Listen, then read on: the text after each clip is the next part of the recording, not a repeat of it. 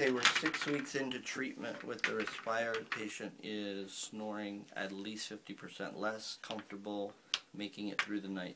One of the things that you'll notice is, despite it being very clean, there's still a little bit of buildup of material in the little slots.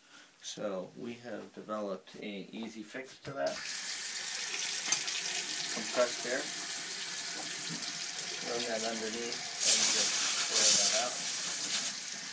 That'll that out really nicely. Before you advance. And now we're going to advance it. Place the tool in, follow the arrow, and we're going to go three turns. This is the first adjustment again. Two, three, one, and there's the arrow. For those of you not following along well enough, two and three. This patient will be seen again in one month or sooner if she develops any symptoms.